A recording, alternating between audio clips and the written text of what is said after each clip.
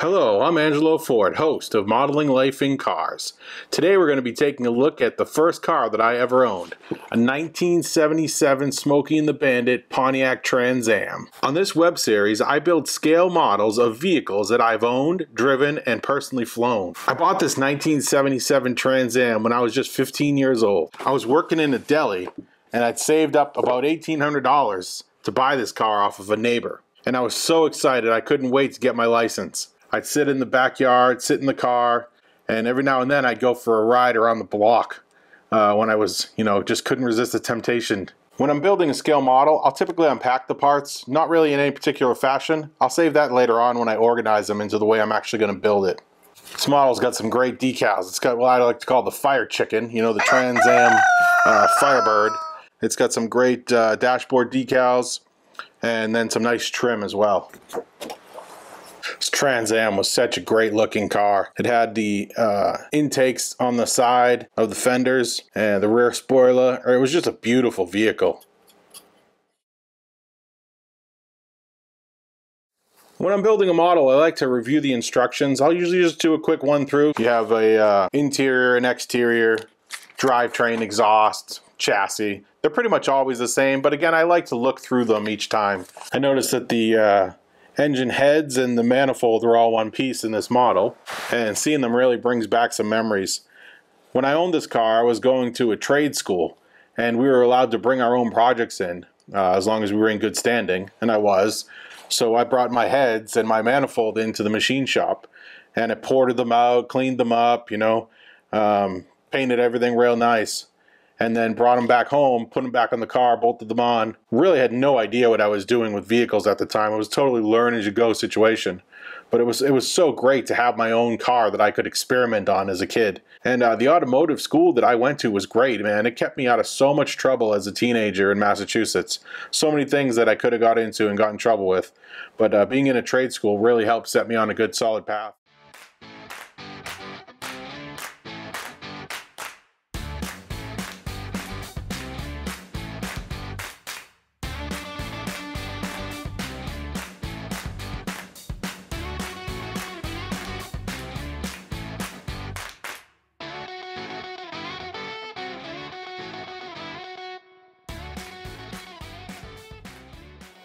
So I'm getting ready to paint on the sprues, and sometimes you don't really have the right color that matches exactly. And if you want to be authentic, go ahead and buy it off the internet or go to your local hobby shop. Or you can mix something that's close enough. That's usually what I do. I'm really building these models to what a kind of memory was, not an exact replica. But, uh, you know, don't feel tied in that you have to do that. Have fun with the models, mix a couple together. You know, Pontiac blue is a very specific color. It's pretty close to this one. I don't, I'm not gonna sit there and look for the exact one. I'll take this blue and I'll mix a little silver with it to get what I'm going for. So I'll dip my brush in just enough to get the bristles wet and then I'll dip, dab it on the top of the cap and then I'll just paint the instructions a little bit to see how the flow is coming off the brush. So I've put on a base layer on most of the parts and now I'm going through with a slightly different color. So if I'm using steel, then I use aluminum, or if I'm using aluminum, then I might use like a uh, a chromium, uh, just to give the different shades on the parts. You know, as I'm painting the dashboard here and working on the interior, just reminds me of how cheap the actual car was, you know. This was built in the 70s and it was like this foam plasticky stuff. It was probably all the rage at the time. But by the time I had owned the car, it was falling apart. The foam was coming through. There were cracks everywhere. You know, anywhere that sun touched was basically cracked and exposed. I still loved it and I was looking forward to driving it as my first car. Eh, just wouldn't turn out that way in the future. But that's more to come. You know, some days uh, I was living with my aunt at the time. You know, she had adopted me from my mother who had moved to Arizona. And uh, sometimes it was just crazy. So I would go out to the car and I'd do my homework out there and I'd just sit there and listen to the radio, you know, uh, 94.5 or Kiss 108 FM at the time. It's before satellite radio, obviously and I'd just chill out there. You know, on a winter day, the car would get covered with snow, and sometimes I'd fall asleep in the car. Even though I didn't actually get to drive it with a license, it still was great to have and, you know, just be a part of my life at that time. You know, this car had a really cool steering wheel. It was like leather on the side, or pleather, I guess. And it was probably super cool when it was brand new. But, you know, it was torn up pretty well. And that was pretty much the theme of the car. Everything, you know, like plastic ingrained stitches in the seats and and just cheap coatings and platings on things where if they had put in a little bit more money, it would have been just top notch, you know, sports car. But It ended up being, you know, the typical uh, throwback to the 70s. A lot of times when I have one paint color out and I know there's only one or two things that need to be painted on another sprue, I'll just go ahead and do those even though I'm not in that section. So right now I'm painting the interior and I was doing the gold on the dashboard and I just jumped over to do the gold trim that's going to be on the front lights as well. So this model, you can see here that it has the catalytic converter with the pipes in the way back, and that just wasn't cutting it for me, you know. So I ordered a uh, custom exhaust from, I believe it was Summit Racing back in the day. And the boxes came in, there were so many parts, I had no idea where they all went. I just decided to make my own little straight back system with what I had. But it was so loud and so legal. I should have known better, you know. Uh, but I took the car for a drive anyway, down the street one night as usual and I was coming northbound back up from my drive, and a police officer was heading southbound back towards the police station.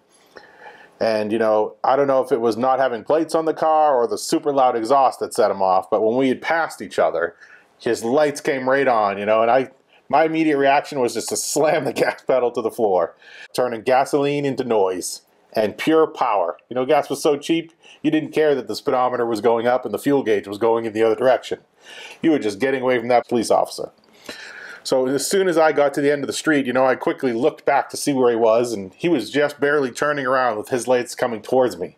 So I quickly turned around the corner and I pulled into somebody's driveway, turned off the lights, and I just waited, prayed that he would drive right by or go the other direction or something. And it seemed like an eternity, but sure enough, he came whizzing by with his lights on, and when he did and the lights were out of my sight, I quickly pulled out and snuck back into my own driveway, put the car back in the apartment building parking lot, and that was the end of it for me. You know, I learned my lesson, or at least I thought I did, because uh, the car sat for a while, but I was back up to my old shenanigans in a few weeks. But it was a, it was one of those experiences, man, where it just spooked me enough that I uh, really thought about changing my ways. One of the big downsides about this car was how hard it was to actually drive in the snow. You know, it had a posi traction rear end, and what that means is that one wheel was spinning, the rear axle would send and redistribute the power to the other wheel, and then that one would try to take traction. If it started spinning, it would send it back the other way, back and forth. And uh, it was great for, you know, some instances, but in most instances in the snow in Massachusetts, it was actually terrible because it just sent the rear end of a car like this that had so much power spinning in every which way. So I got so scared out on the roads, you know, fishtailing back and forth in these situations that I just said that's enough. The risk wasn't worth it. I drove the car home, put it behind the apartment building, covered it up, and I'd go out there and work on it every now and then. But for the most part, it just sat in the winter storms.